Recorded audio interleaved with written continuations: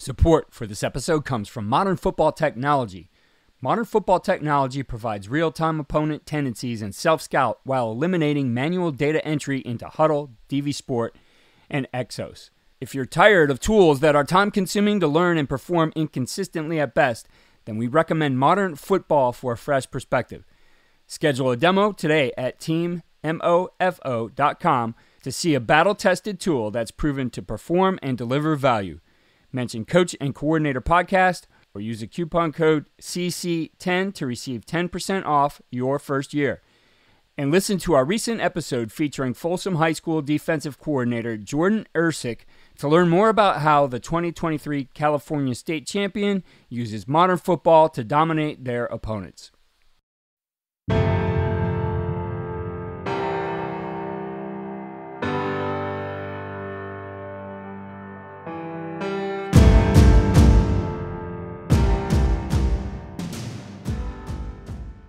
You're able to roll a fullback in there and you're able to get a loaded box, that's going to free up and get you some single coverage on out in space and an opportunity to develop space in the defense.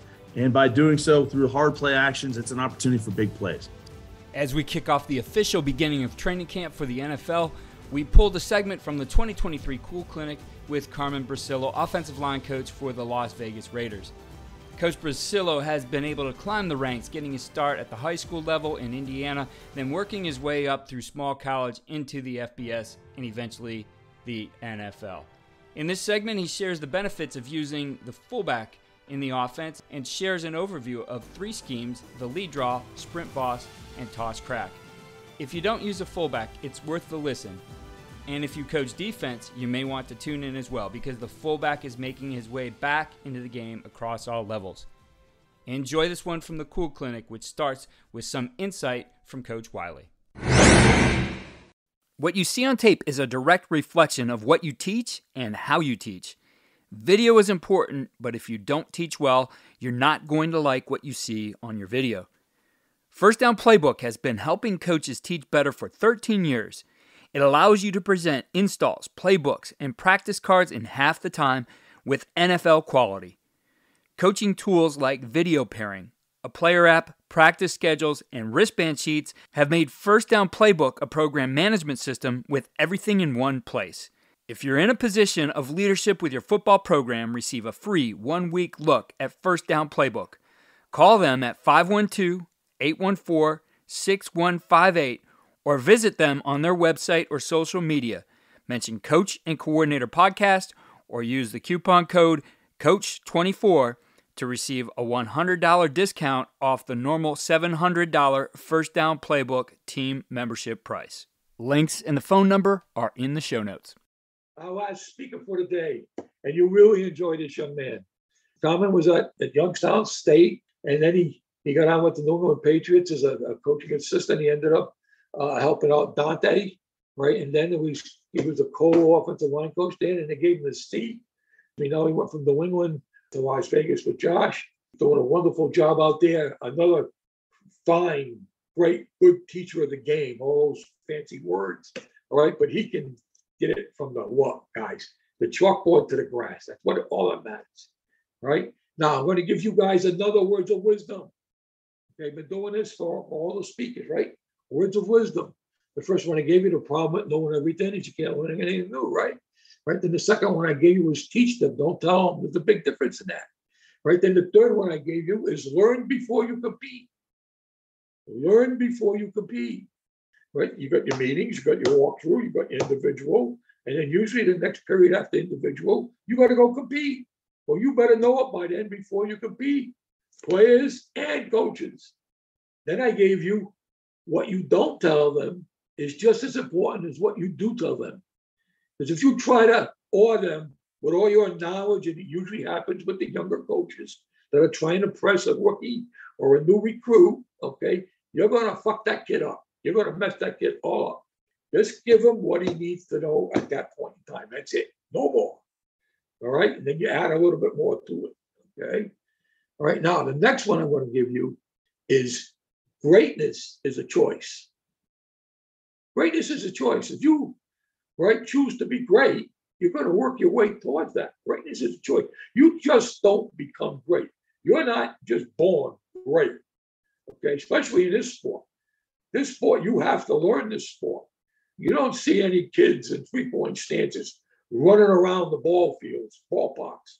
You don't see any guys kick stepping and power stepping and backing up and doing those type of things, right? This whole game is taught from the beginning for the offensive lineman. It's all unnatural. Greatness, you want to be great, that's your choice. In order to make that choice, then you got a lot of work to do and you got a long road ahead of you. Okay, so write that one down. Greatness is a choice. Carmen, you gotta go. Coach, much appreciated. Gentlemen, everybody out there. I, first thing, let me say, I wish this son of a bitch was that uh, you know, we were in Cincinnati and we were all just getting done. We're getting ready to have a few beers after we get done talking some ball, but it is what it is. And welcome to the new century. So before I jump into everything, I'd be remiss if I didn't thank all you guys. You know, since I got back, I found my way back to coaching in football about 20 some odd years ago. And and I've either been in attendance or or buying the DVDs or the downloading the videos. And uh, there's so many you coaches, Bob, obviously you and, and all the veterans of this, and then guys that I've worked with and or worked for. Brian Callahan, I know was a presenter, you know, Eric Wolford. There's too many guys for me to, to, to list that I'm indebted to that, that have got me to this point. point and and I just really want to say I appreciate it. And, and lastly, I'll say I appreciate our assistant offensive line coach here, Cam uh, Clemens here, who helped put this presentation together. But more importantly, he helps me run this group here. As you can see here, guys, uh, my goal for this is is give you guys a, a wide berth of what we believe in at Las Vegas Raiders in the system that we're in, and a part of that in the run game, especially, is going to be having a fullback.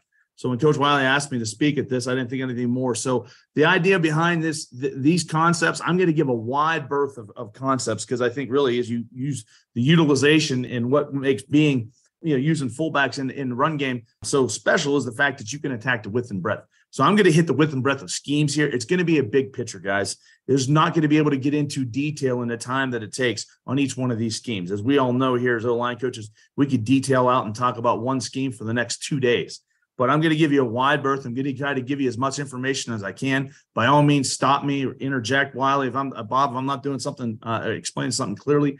Um, and when we get done with that, then hopefully you have enough information that you can go then and actually expand upon it. This summer, go ahead and use PFF and download our tape or old tape of, New, of Dante at New England and say, okay, hey, I want to incorporate this into what we do wherever we're at. So without further ado, just kind of let me um, start it off here. So just in general for us, why do we use the fullback, guys? And for us here with the Raiders, number one, uh, we're a firm believer in the fact that using a fullback is going to help us establish toughness. And there's no question in that regard. Like we use that as an attitude for us and an identity for our team, not just the offensive line and our run game, but the entire team. Number two, and we firmly believe in this. And again, this is how we believe you can establish a tough team. And we saw it this year in the playoffs and every year that there are other ways to do it. You don't necessarily need a fullback to do that. But this is what we believe. When you put the fullback on the field, you we expect to get base defense, and oftentimes then that can simplify or limit the fronts that you're going to see. It's not all that common anymore, especially some of the schemes that we run with the nature of the fullback that we have. And therefore, then it's not something that the defenses are facing all the time through training camp, through mini camp. And then all of a sudden they're trying to get ready for it in one week time and they're trying to learn something new. So it's just not all that common anymore to play with a fullback or have to defend one. We firmly believe in a part of our core philosophy in our game planning would be that we want to be able to attack across the width of the formation, inside to outside to tackle, strong to weak. And I think when you've got a fullback and you can move him around however you mean, however which way you decide to do it, I think you're able to do that, which is across the width and the breadth of the defense. It's applicable, guys, throughout all situations. You know, there's plenty of, you know, sleepless nights on a Wednesday night trying to figure out a short yardage play or some way to gain one damn yard. But you know, using a fullback in the fullback schemes, that is applicable. It's early downs, it's short yardage, it's goal line. And then there's opportunities at big plays. When you're able to roll a fullback in there and you're able to get a loaded box, that's going to free up and get you some single coverage on out in space and an opportunity to develop space in the defense. And by doing so through hard play actions, it's an opportunity for big plays. So Next up, the characteristics of the fullback position. I'm going to be very general here. I've never coached the position. I've always been an O line guy. But the gentlemen that I've seen do this in the NFL obviously are going to be physically and mentally tough. Like it's it's a prerequisite of that. They've got to be a versatile athlete, guys. There's going to be a balance to them. Some may have a little more athleticism, others may be a little more physical in nature, but they definitely need to be a blended athlete. They're going to have to be smart guys at some level. They're responsible for multiple schemes and multiple assignments. And I would say that because of the nature of the position, they're responsible for having good instincts and sometimes having to make things right for the offensive line. What I mean is somebody cuts somebody loose and they've got to fix the mistakes that others may have.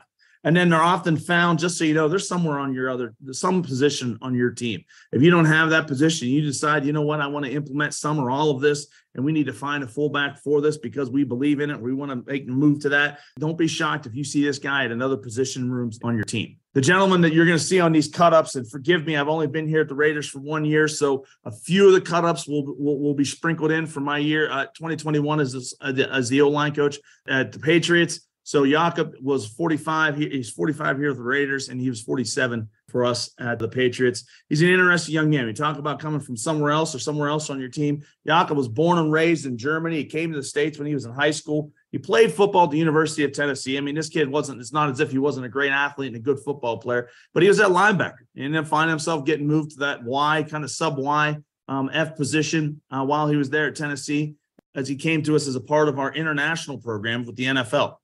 After that, then he ended up on a practice squad with the Patriots, moved to the active roster, and then he was a Pro Bowl player for us this past year for the Raiders. So this young man has done a great job and, has done it the right way. And he's, I'd say, a great example of what a fullback is in this league. So just without further ado, I'm just going to jump into our first scheme here. So first thing I'm going to talk about in general would be lead or lead draw. All right. So for us, this is a downhill run scheme, guys, designed to cut the defense in half. There's an attitude to this. And in its, its simplicity, I think there's beauty, guys. It's a play that attacks the defense immediately. And, and really, it can hit for the width and breadth of the thing. It can hit from the backside B to the front side D gap. Obviously, you see the initial landmark for the halfback is in the A gap, but he can really hit this anywhere. We're going to use gap double teams and techniques when we get a chance. The fullback on this, and we're going to go through the actual blocking on the looks, but he's got the mic on all looks. And then the call side tackle and tight end have D end to Sam. As coaches, we know that some of the biggest hurdles to our team's success can come from off the field. Your team needs support to tackle the endless list of expenses, uniforms, training equipment, travel, and more. But raising that money can feel like a full time job. Thankfully, there's Vertical Raise. Vertical Raise is the premier online fundraising platform using innovative technology to create the easiest and most efficient system available. Raise more money in less time with a local fundraising coach who works with your team every step of the way to customize the ideal fundraiser. With options for online donations, digital discount cards, premium product sales, and even spirit shops, Vertical Raise has top of the line solutions for every fundraising style. To find out more, visit verticalraise.com and we'll get you connected with an exclusive offer on your first fundraiser as I transition now, guys, and I'm going to try to get through a couple more schemes here because I think there's some really good stuff that I stole out and out stole from some of my uh, compatriots here in, in the NFL this past year. I'm just going to keep working through. I'm going to briefly go through. Again, we run sprint boss. Obviously, it's a fullback play. It's a wide zone play. The fullback is assigned to block force front side. If you're going to study at wide zone in this league, I think there's some really great teams that do it. We aspire to do it. I wouldn't say by any means we're one of the best, but we, we have it in our we have that club on our bag. I wouldn't say it's my 60 degree loft that I should never pull out, but I would say that obviously from what you saw me lead off with, downhill run schemes we're a little better at, but nevertheless, sprint boss for us was very efficient. It's an opportunity for us to attack the C gap and D gap area immediately. We have a halfback who likes to play. And like I said, we've got a fullback that, that has a good feel for the play as far as his entry and perhaps how to help a little bit on the way there again, we're, we're not going to, we're split atoms here. Again, it's the outside leg of the tight end. The fullback's got force. One of the things that we like about this is that because it's a force play or less heavy lifting for the play side wide receiver. And I know all of us in here have expectations for what that guy's going to do, but we've got a really talented guy that's going to be on the field on every snap. Uh, nobody's going to outwork Davante. Nevertheless, I'm going to play to his strengths and and sometimes I'm not going to ask him to just come on down in there and ear hold the uh, strong safety 12 times in a game. So when you've got a boss play here that we can put the fullback then on support, it's a little better for your wide receiver sometimes in that regard. This is a great play that we can run it out of both slot and pro. And then again, it's a scheme that we can move the tight end around. The nature of the play allows us to play with some formations and build some formations and I think there's some really good teams that do that. And if, if, you'd like my opinion on some of the teams that do a great job of building formations in a wide zone scheme, I, I gladly tell you because there's some great ones out there in the NFL. I'm sure you know who I'm talking about. I want to get through this series because I think this, A, this is something that has been good to me all the way back to my college coaching time. It's something I've always believed in. And again, going back to that Alex Gibbs thought process of if you can't spend and invest enough time in wide zone, don't do it. And I spent a lot of my years believing that. I was at the Cool Clinic, George Warhop. Coach Warhop talked about his Toss Crack series, and I I took carbon copy from him, went back, studied my ass off, got a bunch of other tape, and we did Toss Cracks. And then obviously, as I got hired at New England, it's something they've always done there, and we still continue that tradition here with the Raiders. I believe the toss cracks lend well, and obviously with a fullback, you can do that with a with a tight end body. But again, I'm talking about fullback and fullback play, and obviously those ISO leads sometimes don't necessarily fit a six five six six tight end as much. So, but we do the toss cracks, uh, we do them out of all of our across of our personnel groupings. But as it applies to the fullback here, it's a perimeter play, multiple variants, and that's what I really want to push through and make sure we get to with our boss crack. We've got two crack blockers. They're obviously going to block and look to seal the defenders inside typically, and I say typically because there's some good schemes, but I'm going to have an opportunity to show you some things to kind of play off of that. Where we have a front side offensive lineman, and he's going to be pulling obviously for a per- perimeter player. We'll use toss ball handling, obviously, in an effort to attack the perimeter of the defense as quickly as possible. I mean, again, as this fits, we we started talking about in the very beginning, guys. We want to be able to attack downhill from the A gaps to the widths of the defense, and we're doing that with a fullback and that mindset. So this obviously toss cracks. You would like to have this in your repertoire because obviously you need to be able to stretch the field and you can do that quickly with toss ball handling and crack element to it. And then obviously the rest of the offensive linemen are going to be using wide zone techniques and calls and principles from that. Here are our winning edge takeaways and ideas for implementation. One, don't dismiss the idea of using a fullback without some consideration first. Take a look at your roster and see if you can identify a guy or two who fits the characteristics that Coach Bricillo outlined. If you have him, then consider how many reps you might be willing to give him a game at fullback if you were to use him. 2. Fit the fullback into what you do. If you utilize the inside zone, it becomes insert zone with a slight variance in rules for the combos. Or he can be the blocker kicking out the backside on split zone. He could escort the quarterback on read zone blocking a level 2 defender. You could use him on the outside zone to block force. If you use gap schemes, he can become the kickout blocker on the power or the wrapper on the counter. Be simple with your tags and be sure the offensive line knows what the tag does to adjust their assignment. 3. Use the fullback situationally. Now you have a go to short yardage and goal line package with a fullback. You can use the fullback on early downs as well and use the package to set up big plays. The fullback may not be for you, but take a look at it before you dismiss it. If you decide to use him, then be sure to devote enough time throughout camp so that you can get these packages ready. Thanks for tuning into the Coach and Coordinator podcast. Be sure to follow all we do at coachingcoordinator.com and follow me on Twitter at Coach K. Grabowski.